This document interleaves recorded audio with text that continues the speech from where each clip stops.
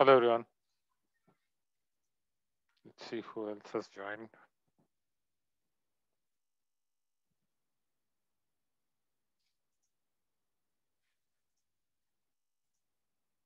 Let me share my screen. Uh, we'll wait for uh, others to join in and then we can give it a start.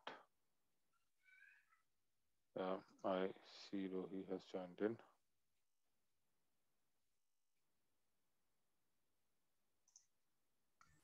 Let me quickly confirm. Uh, hi, Rohit. can you hear me? Hello, yes, I can hear you. Yeah, okay, okay. Uh, so most probably Sarang will also join in. So uh, we will go ahead. Uh, we'll start the session and then we'll see how uh, it goes. So it has been quite some time. There was a big gap. I hope you had a nice uh, holiday. I hope you had a good uh, Diwali as well. Uh, so uh, keeping that in mind, let's just quickly revise what uh, we did until the last session. And what we were doing uh, is that, um, uh, give me one moment.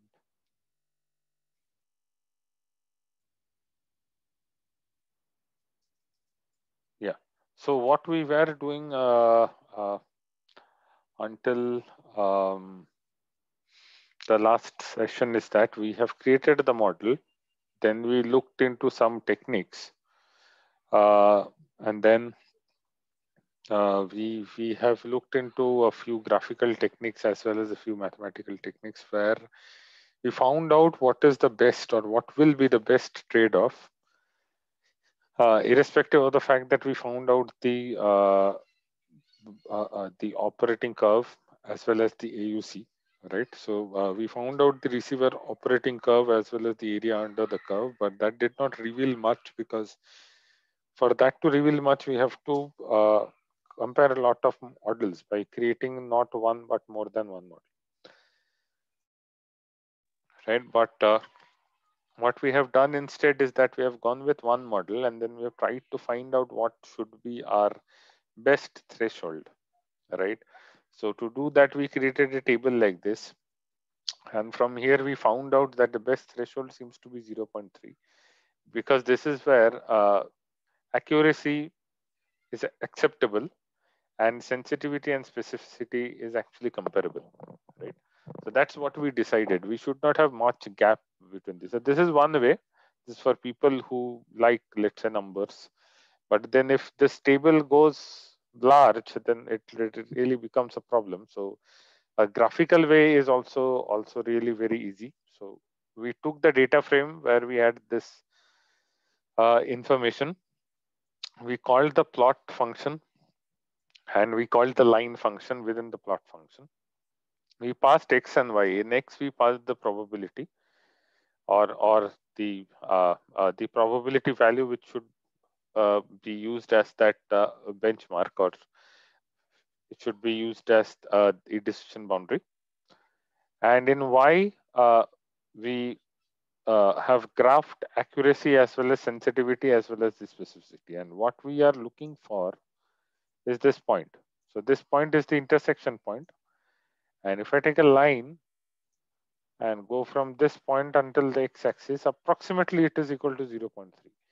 I can't say it is exactly equal. So uh, exactly equal would have been something like this. Uh, exactly equal will be something like here.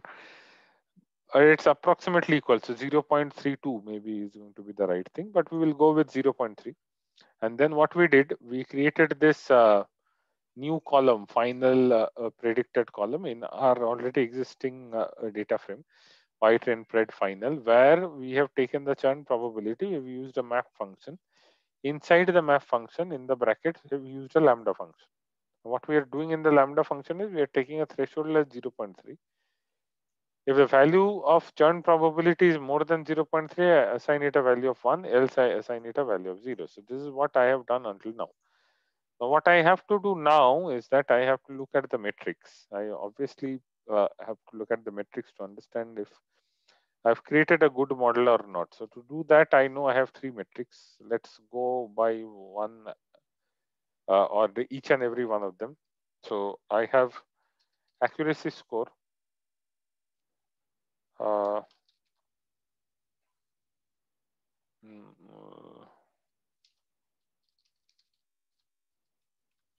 metrics dot accuracy score. Here I'm going to pass y uh, train pred final dot final uh, predicted. So that's what column I'm going to pass. And I'm going to compare that with y train pred final dot churn. So that's the actual value compared with the predicted value. So if I do that, I get an accuracy of 76% approx. Let's see what the table was saying, 7624. And this is also 7624. So we have done a quite a good job. It's not bad. So uh, right. So uh, if if what happens if I increase this to 0.32, let's say. Okay, if I increase this to 0.32, the accuracy has slightly increased, but I should not be drafted towards that that thing because I have to maintain the sensitivity and the specificity also.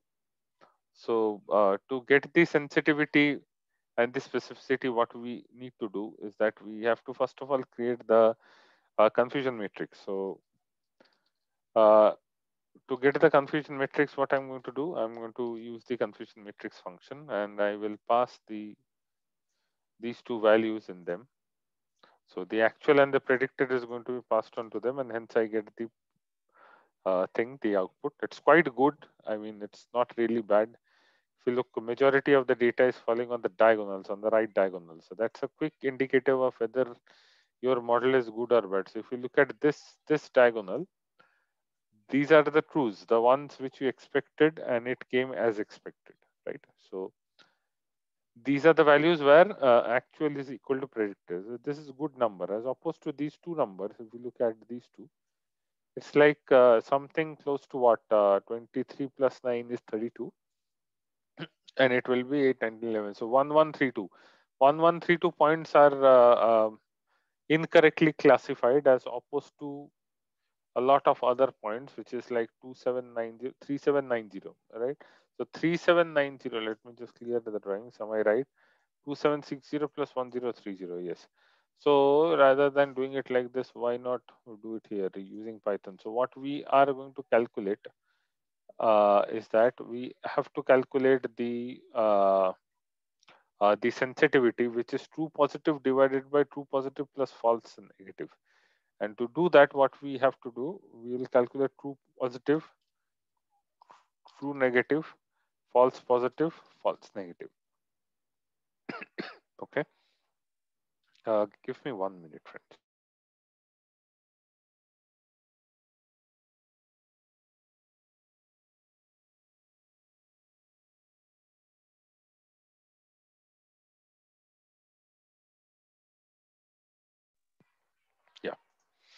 Okay, so to do this, what we are going to do, uh, true positive, of course, uh, is going to be uh, the confusion matrix, uh, which is, I have to store the matrix. So let me just store it, confusion. I'm going to name it confusion only. So confusion is this, and I can see this. So confusion is basically an array. This, this function gives return as an array. So I'm going to do confusion and from here I'm going to select 1 comma 1. This is my true positive. Okay, 1 comma 1 becomes my true positive and uh, 0 comma 0 becomes my true negative. Okay, uh, 0 comma 0. So I'm going to do confusion 0 comma 0. Okay, so this is my true negative. negative, 1 comma 1 is my true positive and then the rest I can also decipher in the same way. What I can do is that uh, I can do uh, confusion and this one will be 0 comma 1 so this is this one right? False positive is this one and false negative okay? False negative is going to be confusion 1 comma 0 which is going to be this one 309 right? So once i have calculated these values i'm sure these values are already calculated in the right way right? True positive true negative false positive and false negative right? So we have already calculated the value. Now I can calculate the sensitivity. Okay, sensitivity is going to be in brackets something divided by something. So I'm going to take in the numerator for sensitivity, it will be true positives.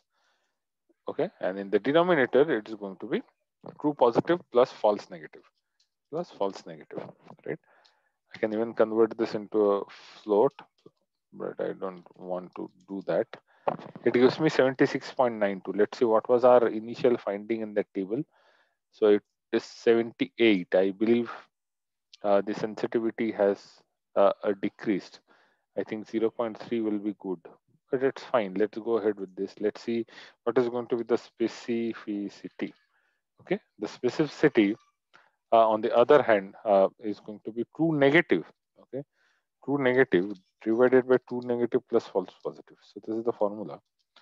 So what I'm going to do, I'll put the brackets over here and I'll put more brackets. Specificity is going to be 77. This is good. I mean, you see, if you round both the numbers, it is equal to 77% only, right? I mean, if you if you just round them to 2 multiplied by 100 and round them to sorry round them to 2 you get a 76.92 and the same applies over here also 77.03 will be the value. Right? So it's it's not bad. It's really good. And the reason why i call this really good is because if you look at these three values okay they they are into quite good range. They are in the 77 percent range. So this is a very good model i would say this is really a good model because it is a stable model. We don't have anything which is on the higher side anything which is on extremely low side and so on and so forth. So we have good things right? We we have really good thing in place right? So um now what we can do until this point in time i hope there are no doubts. Let me take a quick pause over here to see if there are any any issues or any questions please go ahead um, if not then what we can do is that uh, i'm going to quickly show you uh, one more way uh, of uh, uh, calculating this um, matrix, right? So uh, one more way of calculating the matrix will be from sklearn.metrics import, okay? Import precision, okay? Uh, uh, precision score and recall score, right? So if I do this, then I already have the functions to do the precision score and the recall score. That is also quite helpful. So I can do a precision score of y train pred final. Here I'm going to pass churn, uh, which is the actual value, and y train pred final dot final predicted is going to be my predictor value. So this is my precision score. So what is precision score? Precision score is basically uh, true positive divided by true positive plus false positive. Okay. So precision and recall are also also two methods by means of which you can find out how good or how bad the model is. As of now, we will not go into depth of what is precision score and what is recall score because this is not the right example. Okay, we can just look at these values for now. Just look at these values. Just have to remember that we have functions. We have seen what is uh, precision or what is a recall right? But when we go into other machine learning problem, that's where we will see the actual uh, use of precision and recall, right? Because this is not the right use case where we can really define the importance of precision recall. We'll take some other use cases. But overall, if, if I look into mathematics, then uh, uh, precision, okay, precision is basically, if I want to write, it is true positive divided by true positive plus false positive okay okay so precision is basically uh, uh, the ratio of how much correctly identified positive points as opposed to all the identified positive points. So even if they are true or if and if they are false. So that is the precision. It, it tells us how good we are in correctly identifying the one points or the one uh, uh, crosses. So if you have a model if you try to imagine you have a model like this we have crosses as one class and 0 and another class and you have created the decision boundary by means of which you have fit the logistic regression model by creating the decision boundary here, right? So how much well have we predicted these values, right? That's the precision. Okay, it is just a score. It is not a percentage. It is not an accuracy measure. In the same way, uh, recall, okay, recall uh, is going to be something like what is the percentage of true positive that we have identified properly, okay, as compared to the true positives and the false negatives. Okay, the true positives and the false negatives, right? So if if I look at this, this is not as straightforward as the precision. This this has more weightage in my view because this is telling us more about how practical my model is okay how practical my model is so that is the point over here because it is taking into account true positive let me just uh, take an eraser and remove this uh, because it might create a confusion. So true positive plus false negative right? So it is taking the ratio of how many correctly identified positive points are there as opposed to currently identified positive points plus falsely identified negative points. So this is a good measure of the overall strength of the model right? That's the point that uh, we we are trying to find out okay? So if i look over here my recall score is good.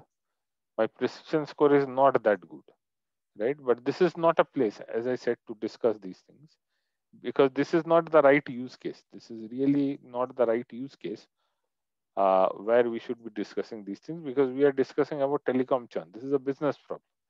In a business context, it is almost always the case that we have a model which we have already created, right? So this is the model that we have right now.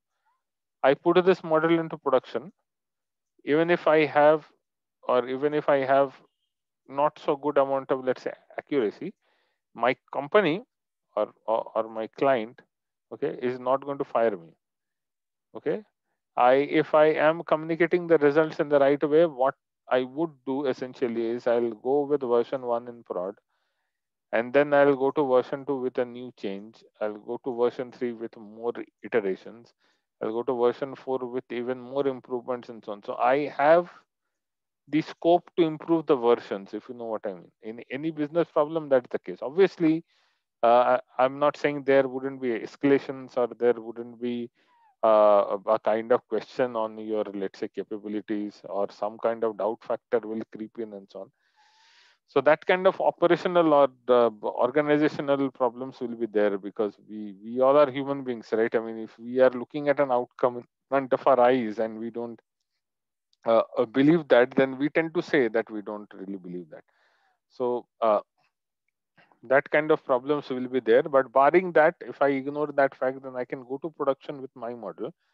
Um, maybe at a very later stage we'll also see how to go to production. There is a very nice library known as pickle so that pickle library will help us to put things into production in a really really nice way. But let's ignore that for now. Just imagine that you have a production server. It's not local host it's a production server where you have this this Jupyter notebook which is already running. And I'm going to pass some unseen data to this model which I've created. And that model will will actually give me the predictions. Now obviously I have the scope to update my versions from time to time right?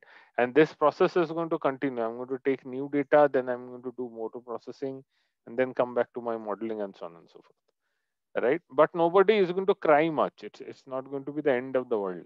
But if now imagine this was not a this was not a business problem but let's say this was a healthcare problem okay? If this was a healthcare problem then a lot of things a lot of such calculations like recall and uh, precision and sensitivity and specificity these kind of things or their importance is really going to change. They'll have a new color now right? Because now it is more about being right the first time as much as really possible because now it is the question of how important the finding is and not about how good or how bad your code is. That level is gone we, we will no longer be bothered about let's say software engineering principles when we are talking about uh, healthcare and related uh, domains right so in that case we will see uh, if, if we are able to take some examples, we will see what is the real meaning of precision and recall. But as of now, you can simply imagine or you can simply understand the precision and recall just like sensitivity and specificity are two measures to analyze how strong the model is in the form of how much variation it has captured, right? Now, uh, let's go ahead. I hope there are no questions. If, if anyone has any questions, please raise their hands or maybe uh, you can unmute yourself and ask. Um, now what we are going to do as of now what we have done is we have only okay we have only uh, uh, looked into um, the uh, steps which we have performed let's say okay on the training data okay so we have only looked into uh, the training data because we are playing around with the model with our training data our uh, model is there okay but we don't or we have not really validated it on our test uh, data. So that's exactly what we are going to do now. So we're going to make some predictions on the test set. So for that, I know that I have X test. I think I have written the spelling wrong. That's why it is going to give me an error. So I have X test and I have Y test, right? So uh, let's see what is the shape so I have 2000 rows and in Y, I obviously I will have 2000 rows only, but I have only one column. So that's why it is comma and then there is nothing. So it's like an array, you can say. So you can say this is the case. All right. So it is just a series, but uh, if you look at X test, it's going to be a data frame, right? Now what we are going to do, we are going to take care of the scaling part. We have already done the scaling part in the training uh, case. I believe scaler is the is the function which we used. So what we are going to do, we have to scale those three numerical variables. If you remember, you have to scale those three numerical variables, which were the continuous variables. Who were those? Uh, let's try to understand. I believe I have forgotten their names. So why not do one thing? insert cell below. Oh, sorry. Um, yeah, I can do that. Why not? Because I just need the list of columns. Yeah, so I need these three. Right, these are the three that I need. So I'll just remove this part and say this one. Right. So why do I need these three? Is because these are the uh, continuous fields, right? And we have already scaled them when it came to the training data. That's exactly what I'm going to do now. So scaler dot I believe the uh, uh, the function was transform, right? So I'm going to do a transform. Okay. Now there is a difference between the transformation that I'm doing over here and the transformation that I did earlier. So what I did earlier was a fit transform. Okay. Now there is a difference between fit transform and transform. I would like you to find out what is the difference. Okay, because this is a very important thing that we should understand. What is the difference between scaling of data by fitting it on the data and by only transforming the data?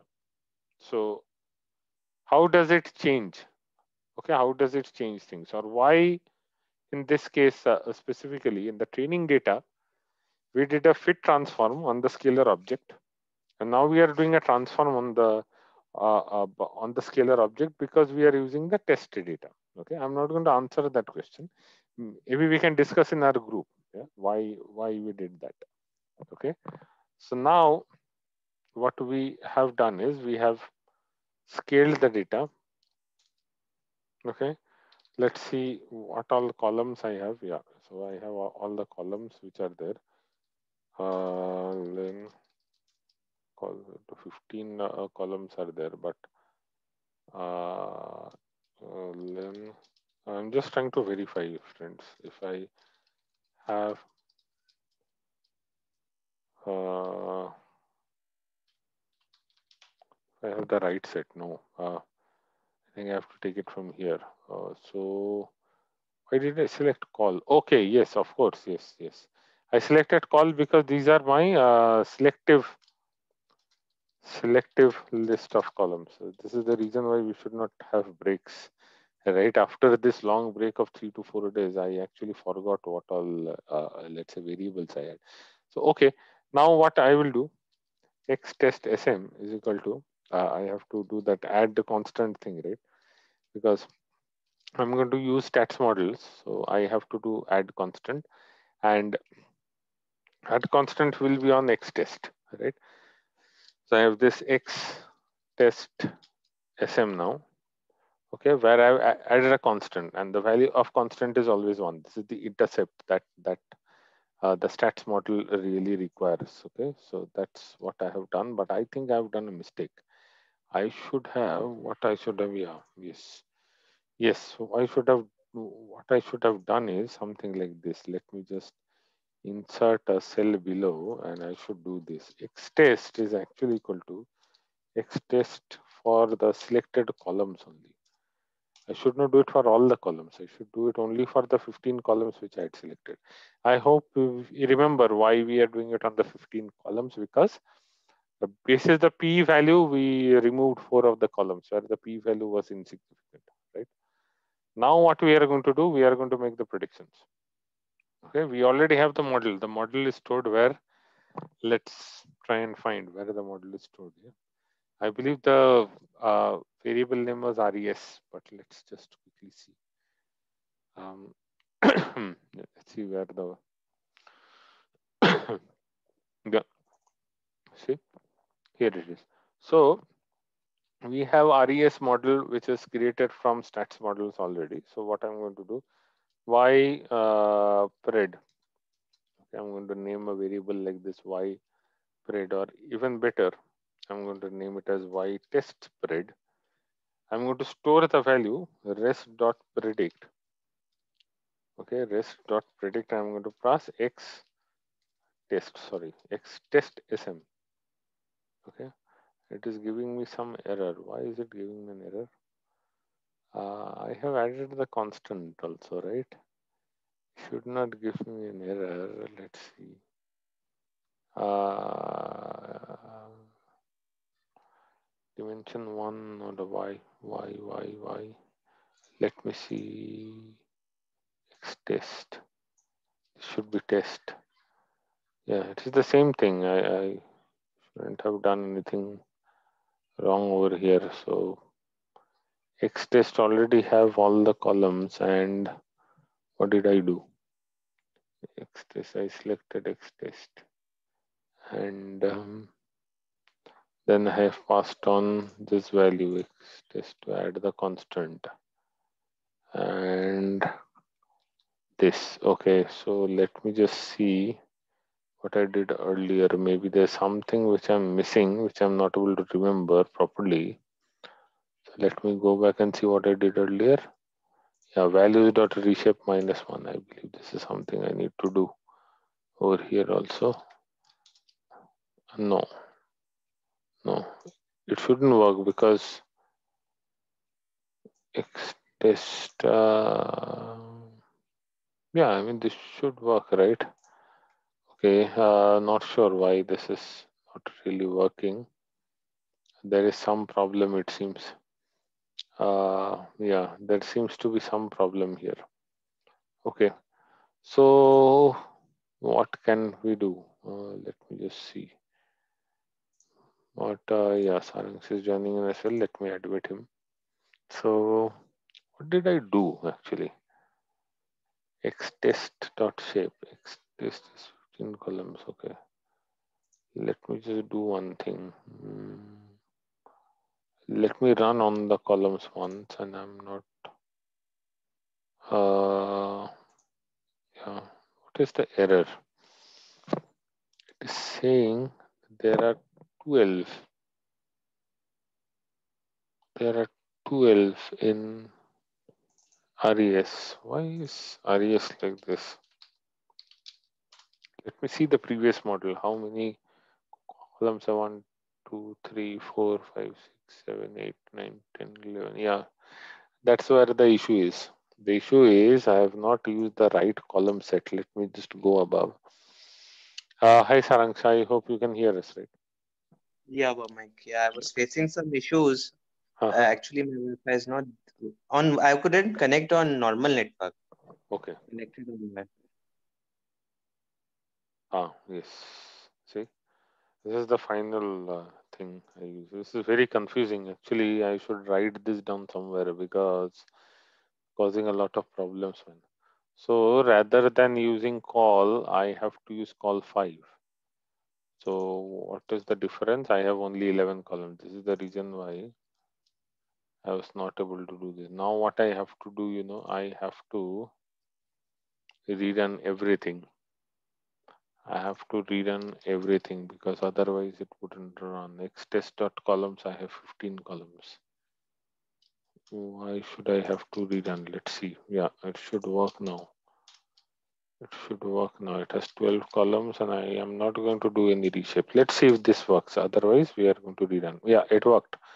It worked. If I do a summary, I have a good model. I don't have any p-value which is very high or very low. So now what I'm going to do, I'm going to do the y-test pred I've got. Very, very simple, silly mistake I did. I selected the wrong uh, place or the wrong list of the columns, right? So what uh, we are going to do now is that I'm going to create a data frame. Okay, I'm going to create a data frame again uh, using y uh, y test spread. This is my data that I've already collected. So y test, uh, what can I name it? Uh, y pred one.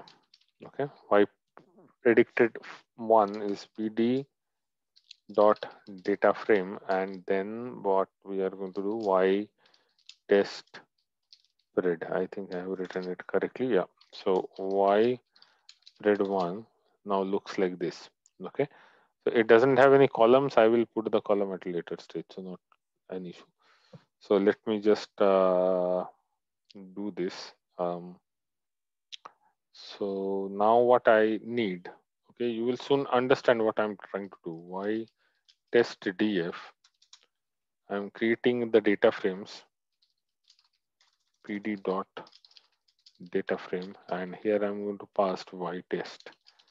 So i just want to create a final let's say data frame where i can compare the results. So that's what i'm doing. So i got a data frame of the predictions now i've got a data frame of the test right or the or the actual ones all right uh, so these are the actual ones. Now what I'm going to do, I'm going to put a customer ID. So y test df is similar to what we uh, did for uh, the trading case also, right? We created a data frame where where we got all the values basis the thresholds and so on and so forth. So that is what we are doing.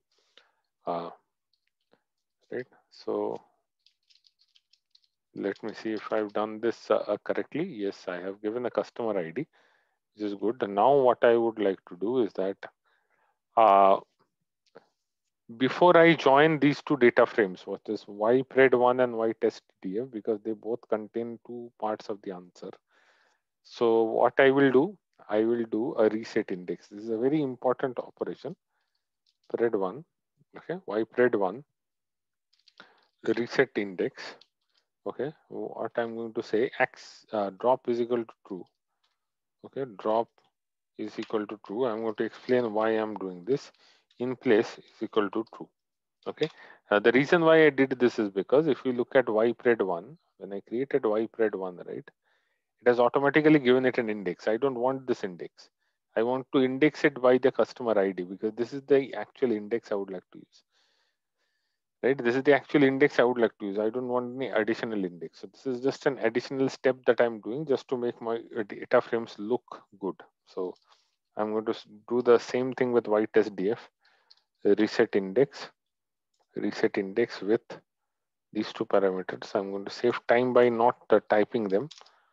And then I have y pred one, which now looks like this right? So I have no more index. I've just resetted the index to a serial order. And now I have y test df, which is also going to look like this. So the indexes are actually resetted, right? And why I did that is because now I can easily join them. And now I'm going to join them is this y spread final.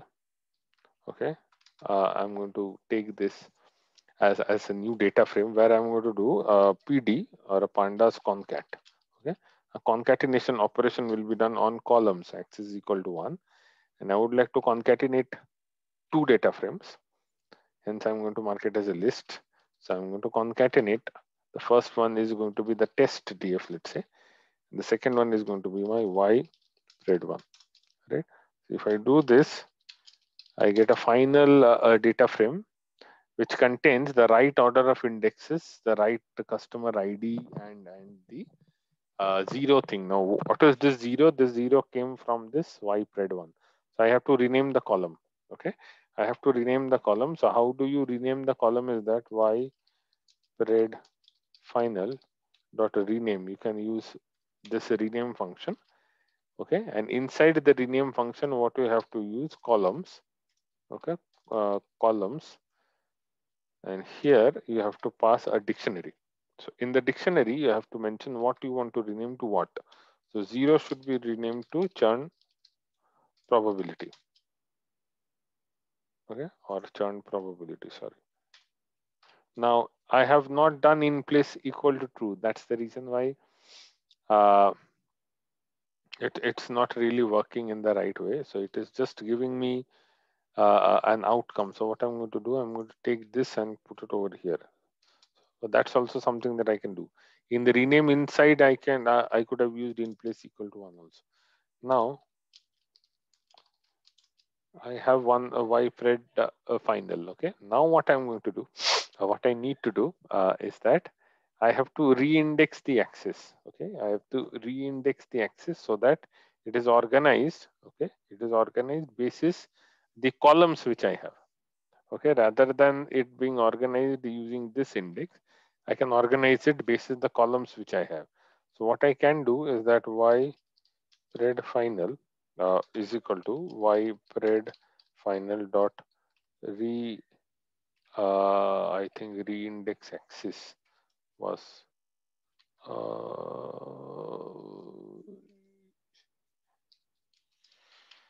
index axis should be there, man. Mm, data frame has no attribute reindex axis. Okay. Uh, I think it is already decommissioned from uh, this or reindex should be just a function or what. Let's see. Reindex, okay. Uh, let me see if this is the same function. In the latest version, I believe it is not. Yeah. New index with optional filling logic. Yeah.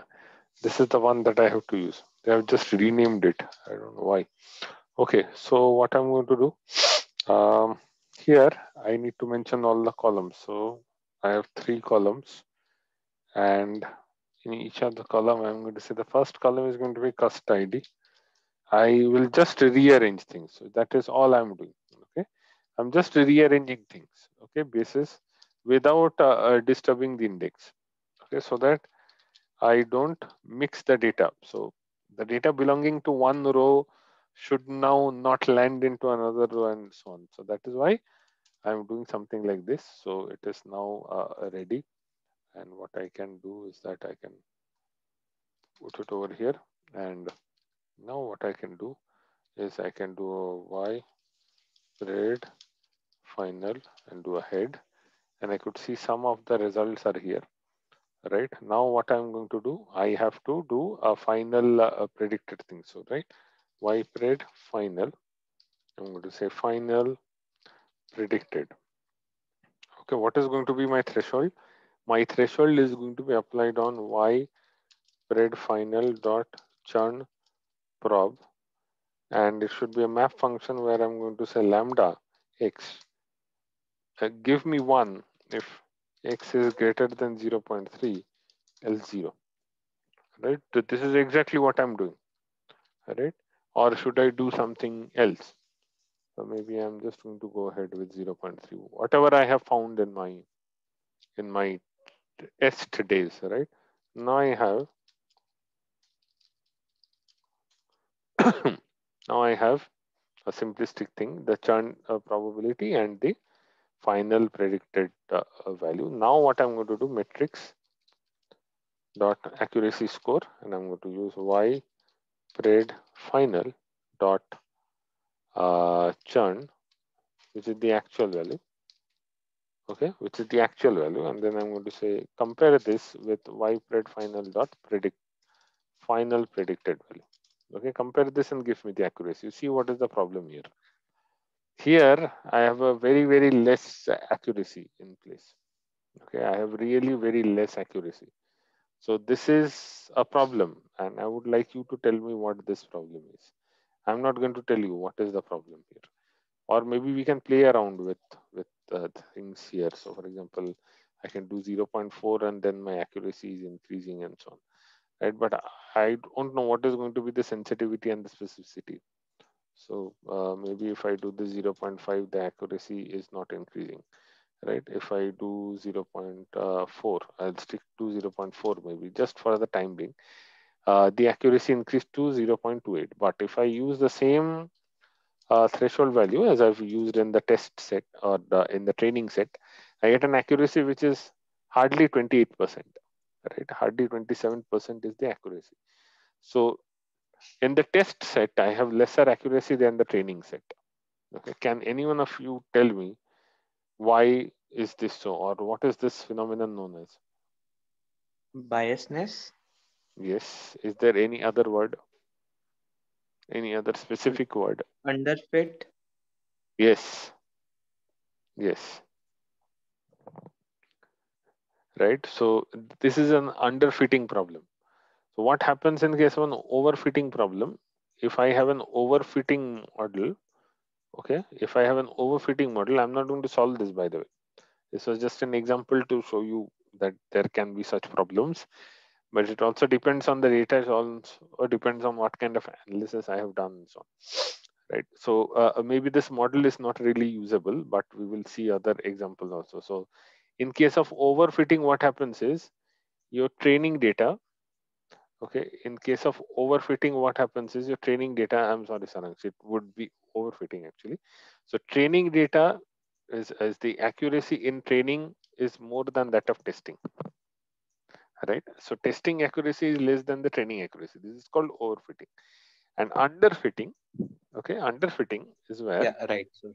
Yeah, underfitting is where uh, in the training data, I performed okayish or in the training data, my accuracy uh, is less than the testing set. So in the testing set, my accuracy is more. Okay, so this is what is known as the overfitting problem and the underfitting problem. Here we clearly have an overfitting problem. We have performed very good in the testing data. Okay, but uh, we have performed very good in the training data, but not in the testing data. there are the, uh, many reasons. Uh, a few prominent reasons is the way we have scaled our data. Maybe the scaling was not done properly. Uh, so scaling can be one issue. The usually scaling can be ignored in case of uh, um, such kind of uh, models, right? Where um, what kind of uh, such kind of let's say models uh, where we are going to look at uh, the distance as a metric. So for example, here I have two classes given by zero and uh, square or cross, and I have a decision boundary which is something like this. So obviously, because this is regression, ultimately we are going to look at the distances.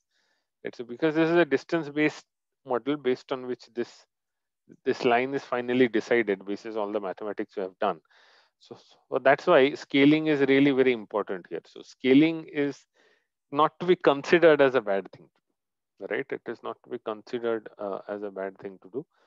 But the other problems can be sampling. So for example, if I don't have good uh, train test split, okay, if I don't have good amount of data split as training data and the testing data, then these kind of problems can come okay uh, it can also come because of the fact that i uh, why is the sampling so important is because let's say i have 80% uh, of data given to training and only 20% of data given to testing and this is purely a random sample okay?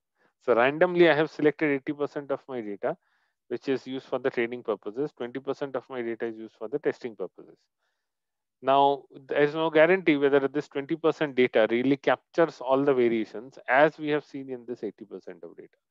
Please make a note of this because this is what we are going to uh, solve using some of the techniques which we are going to learn. Right. So one of the techniques to solve this problem, okay, uh, is to do a grid search CV, okay, a grid search cross validation or a k-fold cross validation. So we are going to use cross validation techniques to to solve this problem. How we are going to do that is that I'll give you a quick idea right now, but later on we are going to do a deep dive. So just imagine you have a data set which has one, two, three, and four rows. Okay, simple data. You have in total four rows and you have to apply a machine learning model. Obviously, your sample is less than 30 and it is really very less. I mean, number four is really very small. How do you do that now?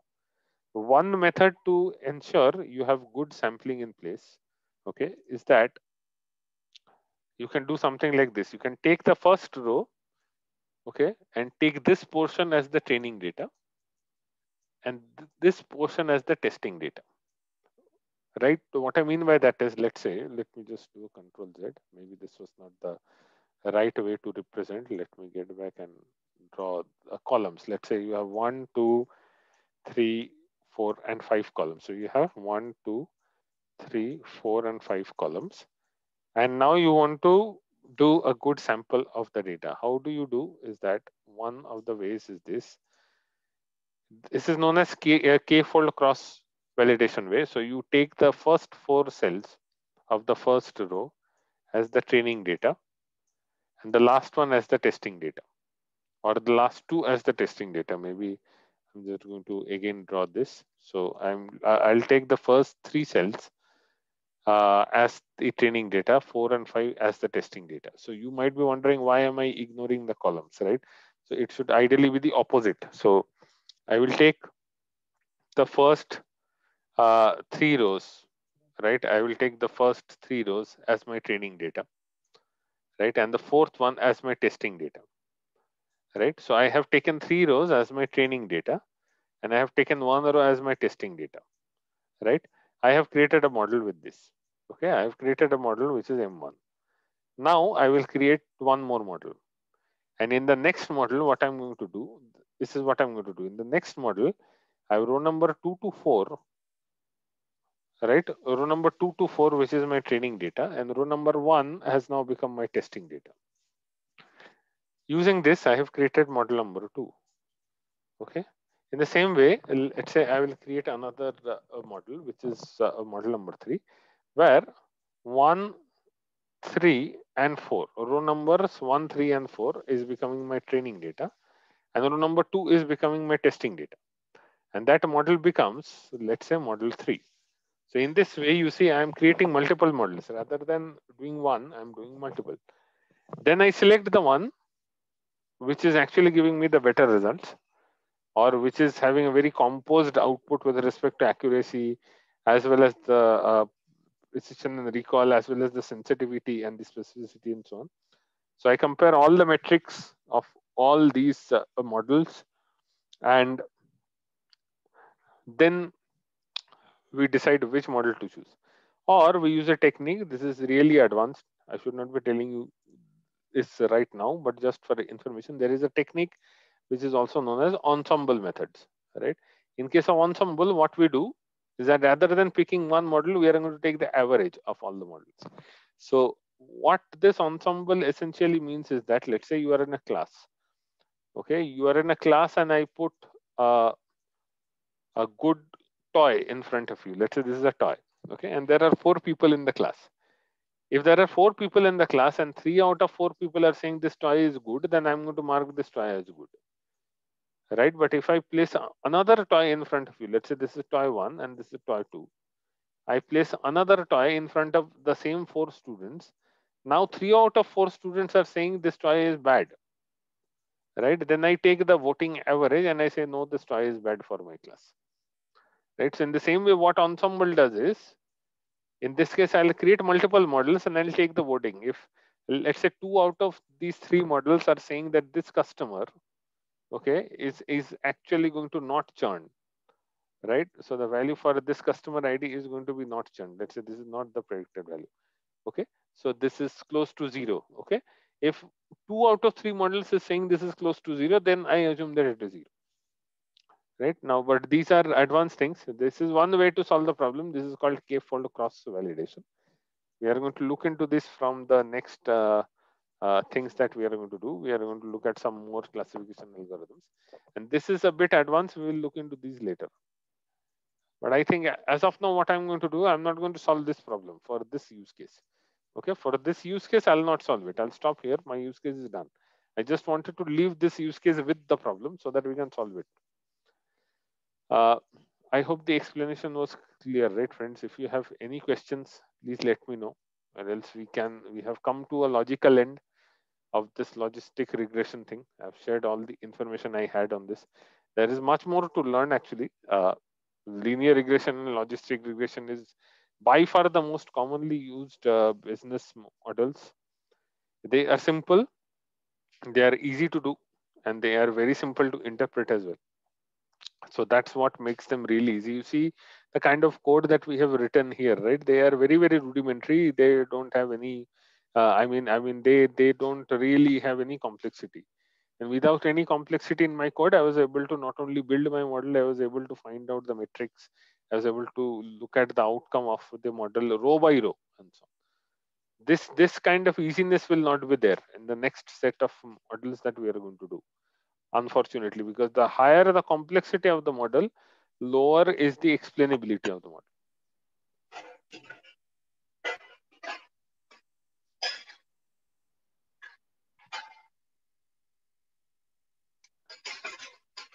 Any questions from you, Sarang?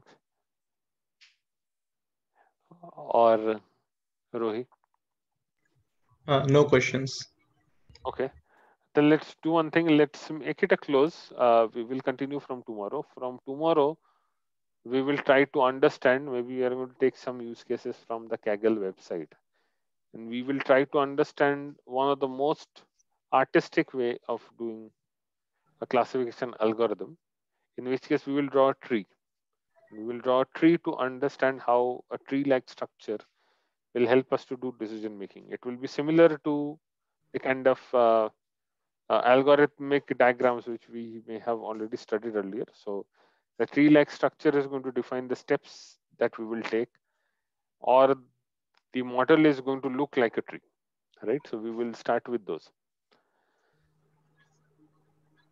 Okay, friends, I think we can close the session now. Thank you. Yes, Good night. Thank you. Thank you so much. Good night. Good night. Good Thank you.